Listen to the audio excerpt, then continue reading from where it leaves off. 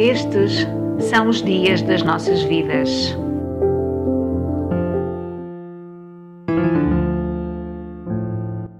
Deixámos de poder estar com os nossos amigos presencialmente, tivemos de estar muito mais afastados dos nossos familiares mais idosos ou até mesmo não estar com eles.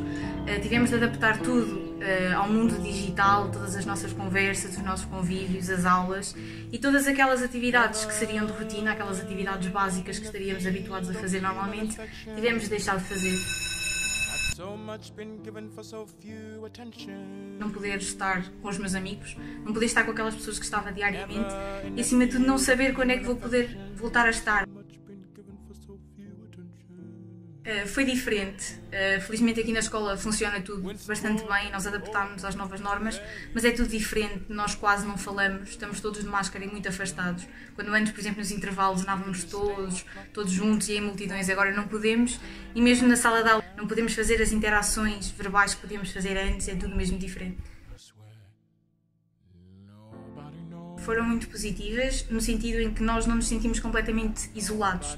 Nós podemos continuar a conversar com aquelas pessoas que conversávamos diariamente, manter-nos atualizados daquilo que elas vão fazendo e explicar-lhes aquilo que nós vamos também fazer. Depois também tem a parte negativa, nós falamos muito com aquelas pessoas, mas depois acabamos por não ter tanta conversa, porque não fazemos nada e acabamos por nos afastar um bocadinho e é complicado essa interação, se calhar forçada.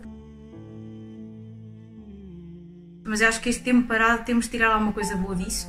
Eh, e acho que sim, acho que nos deu mais tempo para pensar com calma, deu-nos a possibilidade de gerirmos melhor nós próprios o nosso tempo, não temos ninguém a fazê-lo por nós, nós temos de organizar as nossas atividades, temos de escolher o que é que é prioritário para fazer ou não, podemos refletir sobre coisas que fizemos antes e que não vamos querer repetir no futuro, começámos a dar valor se calhar a pormenores mais simples que nós antes não explorávamos tanto, começámos a perceber que pessoas é que realmente fazem a diferença para nós ou não e é muito difícil nós prevermos aquilo que vai acontecer. Eu acho que o mundo naturalmente vai ficar diferente e acho que é bom se ficar diferente, é sinal que aprendemos alguma coisa com isto, mas não sei até que ponto irá mudar para melhor. É realmente horrível, é muito mal.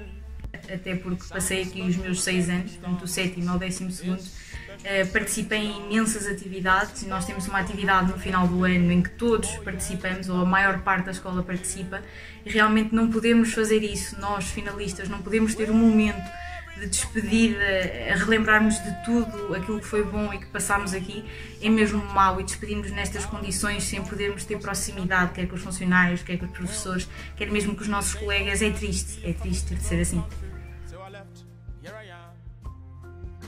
Acho que foram anos mesmo muito positivos. A escola acolhe os alunos de uma maneira fantástica e eu senti-me realmente muito bem recebida. Eh, descobri coisas que gosto e que não fazia a mínima ideia que gostava. Conheci pessoas fantásticas e, acima de tudo, acho que foi um período de aprendizagem e de coisas que nós nunca mais nos vamos esquecer.